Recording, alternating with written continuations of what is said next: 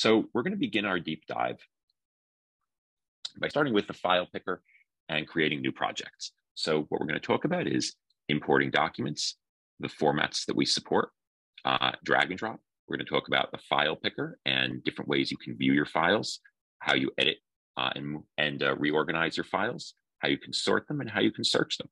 So this is the LiquidText file picker. You guys probably already pretty familiar with it, but uh, but nonetheless, the way LiquidText works it's, is it's a project-oriented uh, way of organizing things. So each item here uh, not simply a document, it's a project. And each project can contain many documents, many pages of notes, and so on.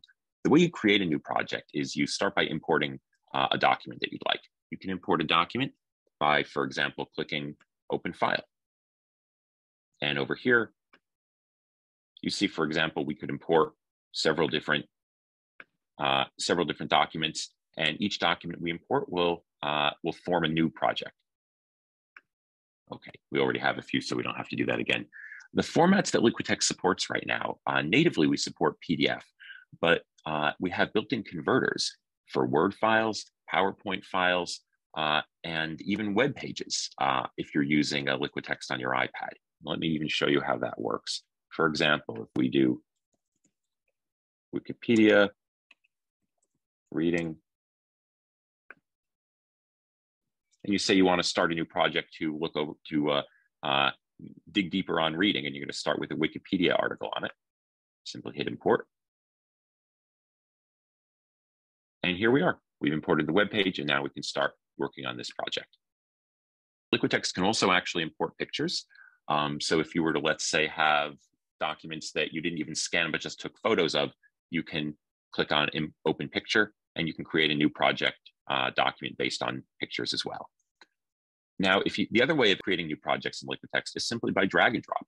Uh, whether you're on the iPad or on Windows or even on a Mac, you can just drag PDFs, Word files, PowerPoint files, uh, JPEGs right from your uh, desktop directly into LiquidText, and it'll create a new project or ask you if you want to add the uh, files to an existing project. Excellent. Okay, now uh, now let's talk a little bit more about how to work with the file picker. Now, as you guys probably know, you can switch between uh, a list view and a tile view. Uh, you also can switch into edit mode. In edit mode, you can select one or more items. You can move them to a different folder, delete them, uh, or send them as LiquidText projects, just like this. Uh, you can change how things are sorted in LiquidText, whether by name or by date. Uh, and of course, you have something called global search.